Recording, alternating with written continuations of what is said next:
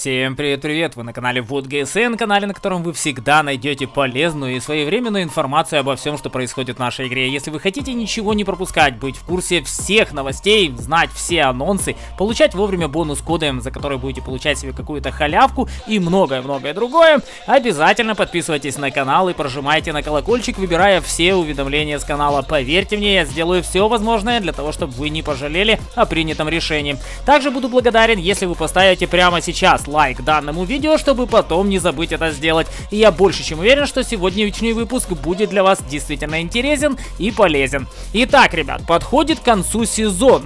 Сезон заканчивается сегодня и завтра стартует новый. Что он нам принесет, сейчас обязательно обсудим. Ну и в частности, обсудим такие вещи, как новое визуальное качество для некоторых танков, новая ветка в игре, ну и, конечно же, ребаланс танков, который все ждали. А ребаланс претерпели огромное количество машин, машин. И сейчас я вам покажу все технические характеристики, в чем конкретно было изменение, и выскажу свое скромное субъективное мнение. Ну а в отношении того, сколько времени это займет, уж простите, обсуждать действительно очень много всего, поэтому смотрите и не перематывайте. Лучше потеряйте несколько минут времени, но знайте полностью все.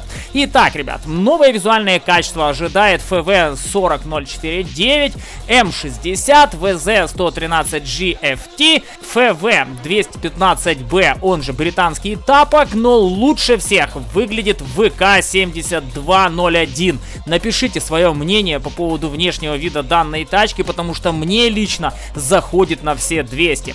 В отношении новой веточки, которая ожидает нас в новом сезоне, это ветка про Jet Murad. И в отношении данной машины могу сказать следующее. Многим СТ-водам она понравится, а кто-то будет от нее очень сильно плеваться. На меня она произвела, я бы сказал, двоякое мнение во время теста. В эту ветку будут включены AMX-13, который будет находиться на седьмом уровне, ERAC 105 э, прототип э, первый, Proto 1, если быть точным, Project Lowe's на девятом уровне и Project Murat на десятом левеле. Все эти тачки являются средними танками, которых очень сильно не хватало французской ветке, ну и все они будут обладать интересным барабаном на два снаряда. Что это будет собой представлять, обязательно заценим с вами на прямой трансляции, как только только ветку введут в игру. Ну а теперь в отношении того, что же все-таки произойдет с нашими танками в отношении ребаланса. И начинать будем со сборной Европы. Кранваген с одной стороны понерфили, с другой стороны немножечко апнули. Бронепробиваемость снизили, при этом все-таки увеличили ему средний урон, что я лично считаю довольно неплохо, но меня очень сильно смущает время перезарядки. Время перезарядки увеличили на одну секунду по второму снаряду, но уменьшили время перезарядки по первому снаряду, который вы отбрасываете. Также увеличили время перезарядки по последнему снаряду. Короче говоря, где-то забрали, где-то добавили. В отношении Проджета 65. Здесь, я бы сказал, больше нерв, нежели ап, потому что здесь увеличили время перезарядки внутри магазина. Ну, а в отношении того, что добавили сотню прочности, я считаю, что на Проджете это отразится не сильно. В отношении Ирины Черонта все очень переживали, что машину занерфят, но по факту с ней вообще вообще ничего не произошло. Как вы видите, немножечко увеличили разброс, но я думаю, что несущественно, по крайней мере, исходя из цифр. Ну а в отношении прочности up 50 единиц это вообще ни о чем. 60 ТП претерпел изменений, я бы сказал, в лучшую сторону. У него скорость поворота корпуса улучшена, скорость э, хода назад уменьшили на 1 километр. И я считаю, что ни о чем. Не обратим внимания, больше чем уверен. Бронепробитие по кумулятивным снарядам увеличили на 5 единиц. Тоже, я бы сказал, будет практически незаметно. В отношении CS63 время перезарядки, как вы видите, улучшили, но тоже незначительно в отношении тяга вооруженности. Ну, я не думаю, что сильно заметим, хотя, может быть, когда будем подниматься под горку, обратим на это хоть какое-то внимание. Максимальная скорость плюс 2 километра тоже ни о чем, и скорость поворота корпуса. Зачем вообще трогали CS, я лично не понимаю. Пишите комментарии, может вы поняли, зачем все это изменять, если, в принципе, изменения практически будут незаметны. СТРВК, словно известная легенда, претерпела изменений, ей немножечко улучшили тяговооруженность, время сведения сделали дольше, я считаю, что это правильно, потому что СТРВК в этом отношении действительно очень сильно имбовала с учетом скорострельности орудия вот этой машины. Ну и в отношении бронепробития, как вы видите, по бронепробитию сделали ап. Опять-таки, зачем, если СТРВК и так неплохо игралась?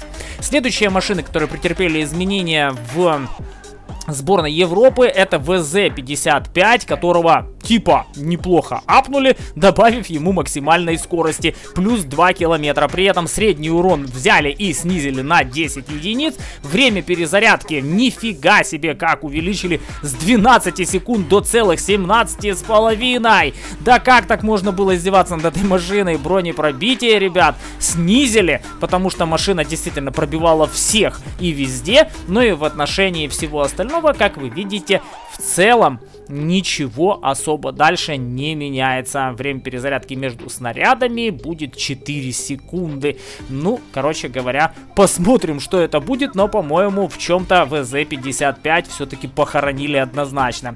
Т-50-51. На эту машину возлагали в свое время огромные надежды, что ее вернут в первоначальное состояние. Решили немножко поправить, но не сильно. Как видите, средний урон за выстрел с 300 до 310 подняли, и время перезарядки типа ухудшили на одну секунду. Зачем, если машина и так уже давно не имбовала, тоже не понимаю. Каро 45 тонн. Слава богу, не сильно зацепили, добавили прочности 50 единиц. УН уменьшили по углу склонения орудия вниз с 9 до 8, я думаю, будет не сильно заметно. И бронепробитие уменьшили на 10 миллиметров. А вот в отношении времени перезарядки, обратите внимание, здесь у нас, ребят, я бы сказал, оставили все практически таким, каким оно было ранее, но все-таки увеличилось время перезарядки по второму и третьему снаряду. Первый и последний снаряды остались без изменения. Посмотрим, к чему это приведет. Ну и в отношении Эмиля второго, как видите, бронепробиваемость основного снаряда снизили с 252 до 248 и скорость полета снаряда также была улучшена, э, как и у некоторых других машин в других э, веточках, в других нациях. Следующие машины у нас Минотавр, которого в свое время, как все говорили, похоронили, убили, занерфили, хотя я особой разницы не увидел. И вот решили забить еще один гвоздь в гробу данной машины. Средний урон за выстрел с 490 снизили сразу до 470.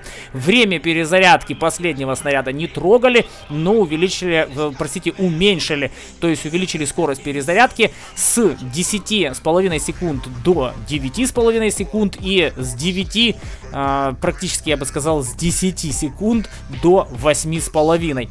Зачем надо было снижать средний урон за выстрел, я лично не понимаю. В отношении времени перезарядки действительно, я думаю, будет играться машина поинтересней. SMV CC64 также претерпел изменений. Ему время перезарядки увеличили с 9 секунд до 10 секунд и урон по э, модулям с 210 до 165 был понижен. Не знаю, честно говоря, как теперь СМВ будет играться. Мне кажется, что существенно хуже, а возможно перестанет им бывать, так как это делала раньше. Хотя тоже особо имбой данную машину не назовешь.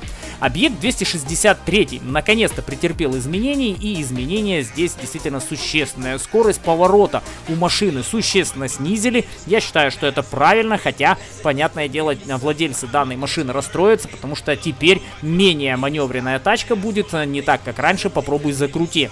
Скорость снарядов тоже уменьшили, поигрались и решили, что, наверное, на дальнее расстояние так быстро снаряд у 263-го лететь однозначно не должен. Углы горизонтальной наводки увеличили с минус 7 плюс 7 до минус 8 плюс 8, то есть подобавляли по градусу в каждую сторону. Изменили тип снарядов, как вы видите, и время сведения улучшили. Хотя у объекта, как мне кажется, и до этого время сведения было довольно неплохое. Из четырех четвертый. Данную тачку в свое время очень сильно понерфили, ребята очень сильно расстроились, и разработчики сказали, мы это все исправим. И вот, наконец-то, вот такие технические характеристики у машины будут, а именно 9.97 секунды время перезарядки решили улучшить до целых 9,6.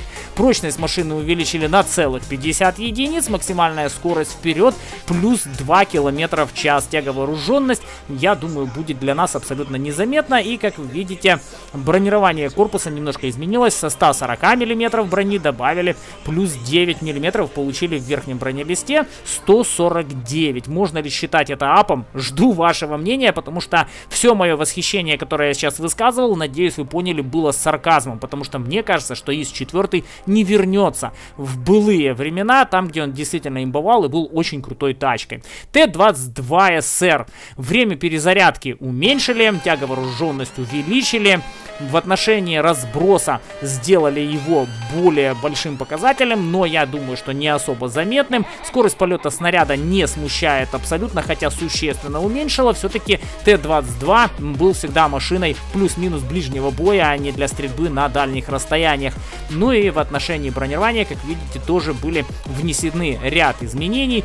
Было уменьшено уровень бронирования в нижнем бронелисте, хотя я не понимаю зачем, туда и так вполне нормально пробивать пробивали. Ну а верхний бронелист сделали немножко крепче и сделали из 110 118 миллиметров. Следующими советскими машинами, которые претерпели изменения, является объект 907. Как вы видите, довольно неплохо апнутый по обзору, целых 5 метров. Это очень много, действительно. Время перезарядки немножечко увеличили, но думаю, что никто этого не заметит. Ну и в отношении Т100ЛТ. Этой машины нерфа боялись многие, но, как вы видите, в принципе, привело не к нерфу, а привело к апу, потому что время перезарядки улучшили более чем на полсекунды. Бронепробитие тоже подняли. Ну и в отношении разброса немножечко сделали его похуже, но в целом, думаю, не сильно заметно. Объект три топора. Машина, которая очень сильно смущает многих игроков, претерпела изменений, время перезарядки увеличили, время э, сведения, э, простите, время перезарядки как раз уменьшили, а время сведения немножко увеличили. Зачем, не понимаю, в принципе и так было не сильно комфортно играть, ну ладно. Посмотрим, как играться будет. Проходимость по грунтам, я думаю, особой разницы мы не прочувствуем. Т-62А получил себе 6,9 время перезарядки вместо 6,5 секунд. Скорость полета снарядом тоже уменьшили и снаряженные э, снаряжение, простите, улучшенный форсаж ему сюда добавили. Бронепробитие у ИСа 7 255 мм забрали и дали 251. Неужели 4 мм что-то зарешает? Я лично в этом очень сильно сомневаюсь. Максимальная скорость от 42 снизилась до 40. Вау, типа будет менее маневренный. И ход назад существенно уменьшили. Вот здесь я расстроен. С 15 километров на 13. Ну, с учетом того, насколько круто забронирована была машина, я думаю, в целом это правильное решение в отношении того, чтобы уменьшить данный показатель показатель. Время перезарядки уменьшили, за что огромное спасибо. А вот то, что забрали брони в нижнем бронелисте, которые и так все выцеливали с его 150 мм и снизили до 139, я считаю решение не совсем правильное. Следующими машинами, которые претерпели изменения, является объект 268. С 0.355 до 0.345 был уменьшен разброс. Э, бронепробиваемость была уменьшена по всем снарядам, кроме снарядов, э, господи, осколочно-фугасного, а скорость поворота корпуса была тоже снижена. Ну, в общем, я бы сказал, что здесь, конечно, нерв, нежели ребаланс. В отношении ST1 машина редко встречающаяся в игре и в целом является проходником, поэтому особо решили ее не трогать и просто поиграли с бронепробитием, снизили показатели практически по всем снарядам, кроме осколочно-фугасных. Объект 260. Я бы не сказал, что стоило его трогать и скорость э, поворота башни снижать с 27 до 23 секунд. Ну, э, зачем? Зачем это надо было делать? То есть, ну, он так нормально игрался, блин. Он должен был играться как СТшка, исходя из того, что особой броней не обладает. Но ребята-разработчики решили иначе и решили в этом отношении машину понерфить. Ну а время перезарядки ему уменьшили и типа быстрее будет перезаряжаться. Хотя я думаю, что 0,2 секунды никто не заметит. Плюс добавлена механика боевая стабилизация. Объект 140 э, снаряж... э, средний урон за выстрел ему увеличили на 10 единиц, подняли ему бронепробитие по основным снарядам и по голдовым. Разброс уменьшили существенно, время сведения чуть-чуть увеличили, но незаметно, и время перезарядки было немного увеличено, но тоже особой разницы не почувствуем. Поэтому по объекту 140 однозначный ап. И с 8 бронепробитие было снижено по базовым снарядам по голдовым. Не считаю, что это правильное решение, надо было Иса не трогать, он и так вполне нормально игрался. Объект 268-4. Бронепробиваемость основного снаряда была увеличена с 265 до 270. Ребят, лучше бы вы ему сведение улучшили, нежели улучшили ему э, уровень пробития базового снаряда. Британские танки претерпели изменений, бабаха была существенно понефрена в отношении скорости полета снаряда, хотя и так далеко не блистала данным показателем. Время сведения было увеличено больше, чем на секунду, и разброс, который вроде бы сделали более приятным. Короче говоря, бабаху, можно сказать, закопали по шею, если не похоронили полностью. ФВ 4005. Время сведения было увеличено с 4,5 секунд до 5 секунд с копейками. Обзор был уменьшен, ну и в целом я считаю, что машинку довольно не кисло понерфили, и теперь ФВ 4005, ну, я думаю, не сильно будет приятно играться с учетом изменений, которые были в нее внесены. Мой горячо любимый Баджер ФВ 217. Машина легендарная, машина некогда очень классная. Да и в целом продолжает ее быть, и ее очень круто апнули. Максимальная скорость вперед была увеличена, проходимость по грунтам улучшена, скорость поворота корпуса, да, снижена будет менее маневренной, но при этом всем я считаю, что Бадгер останется все такой же хорошей, приятной машиной. Но скорость поворота корпуса все-таки, мне кажется, будет существенно не хватать. ФВ 215Б, он же британский тапок, с 245 до 250 был увеличен раз, обзор, Прочность машины была увеличена на 50 единиц, и время сведения было увеличено с 3,2 до, до 3,4. Пытались, пытались ФВ-215Б все-таки реанимировать и вернуть в игру, но я больше чем уверен, что он как был никому не интересен, так, к сожалению, и останется, потому что далеко не эти показатели необходимо было менять в машине. ФВ-4202, как вы видите, претерпел незначительных изменений. Vickers Light, огромное количество изменений, все перечислять не буду, просто посмотрите на характеристики и напишите в комментариях, это up или это nerf. Я лично склоняюсь к тому, что все-таки машину апнули и довольно-таки серьезно. Супер Conquire, великолепный супер конь, претерпел изменений, время сведения было увеличено на более чем полсекунды, в отношении максимальной скорости занерфленный, ну и в отношении максималки назад, имеется в виду, был занерфлен на целых 2 километра, что будет существенно отражаться на живучести данной машины. Время перезарядки вроде бы как немножко улучшили, но я не думаю, что мы это прочувствуем на себе.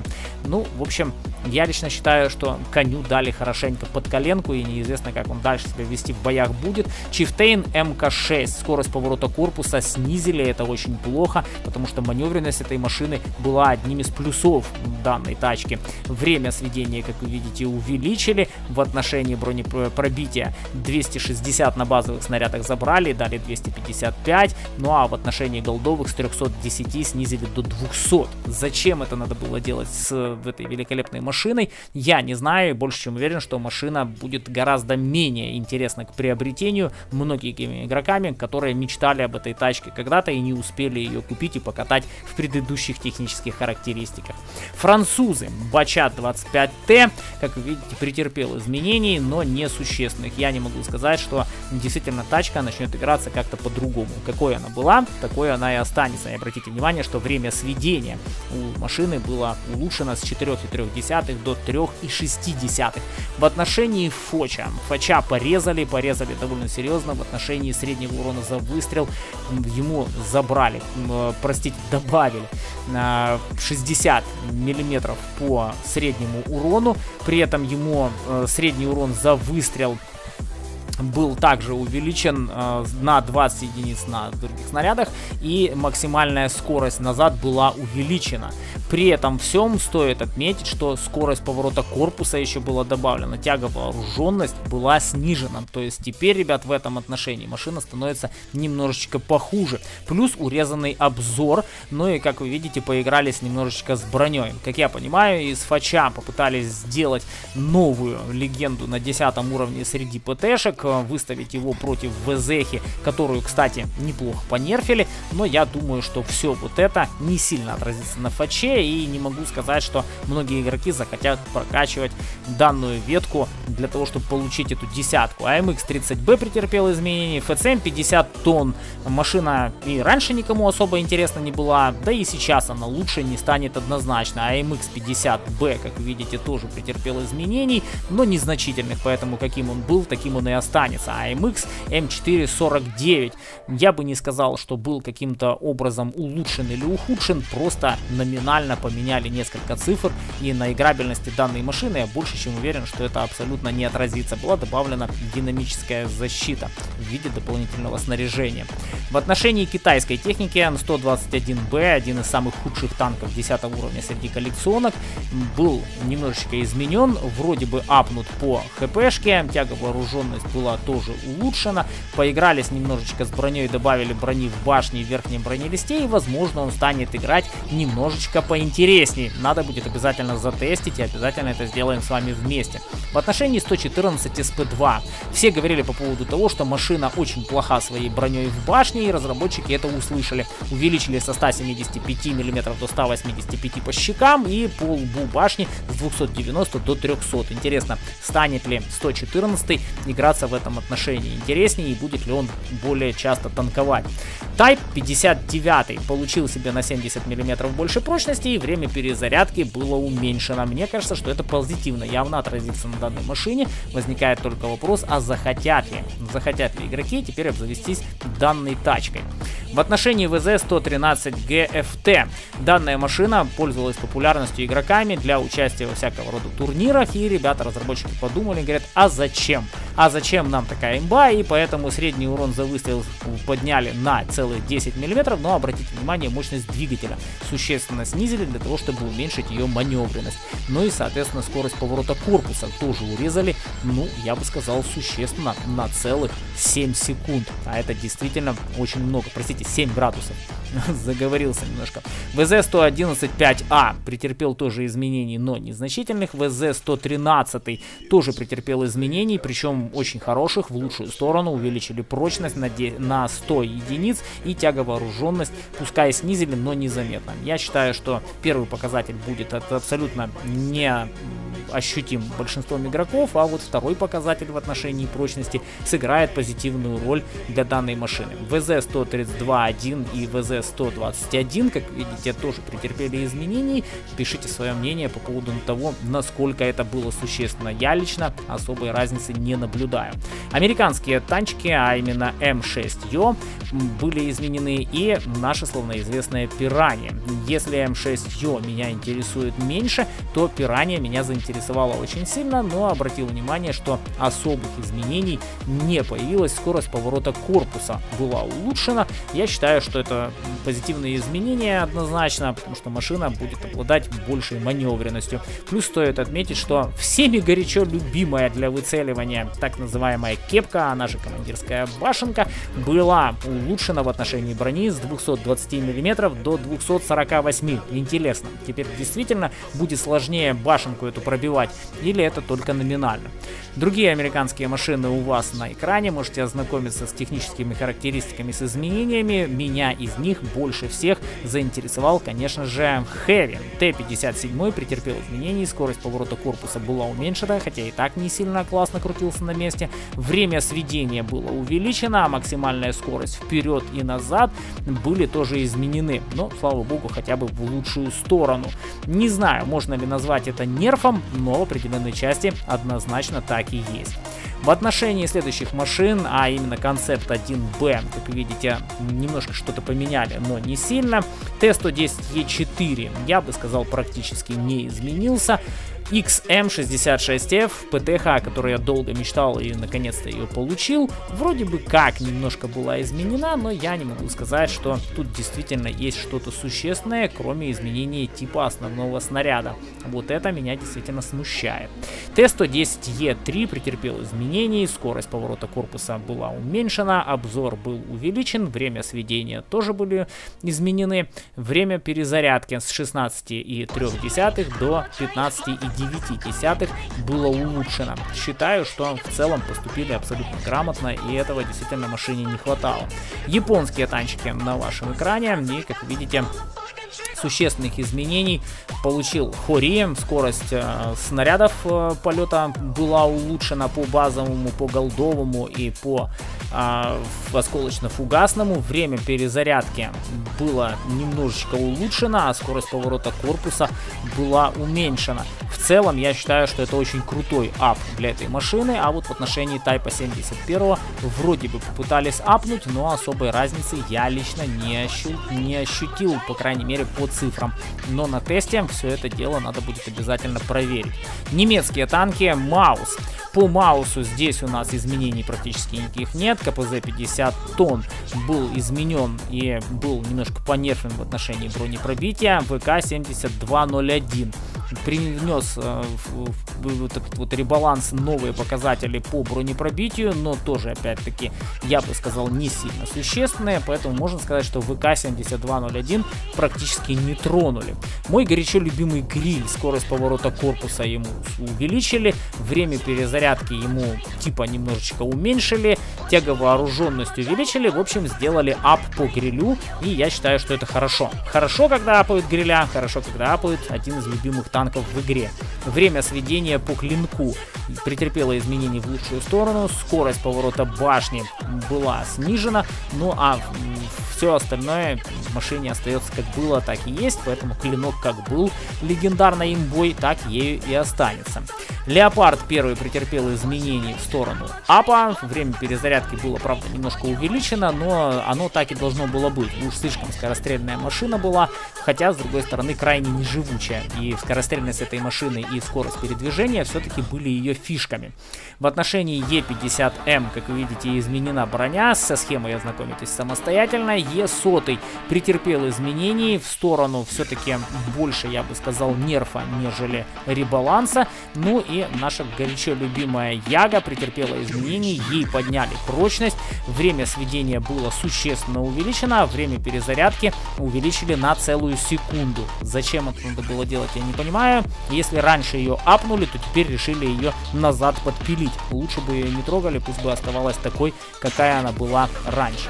Вот такие вот, ребят, изменения ждут нас в следующем сезоне. Видео получилось очень долгим. Я очень долго к нему готовился. И если вам не сложно, буду благодарен за ваш лайкос, за мои труды и старания. Я пошел снимать следующее видео. А еще, друзья, вечером приглашаю всех на прямую трансляцию, на которой каждые 20 минут мы будем разыгрывать по коллекционному танку в честь окончания нашего сезона. Мира вам, друзья мои! И обязательно спокойствия. Всем пока-пока.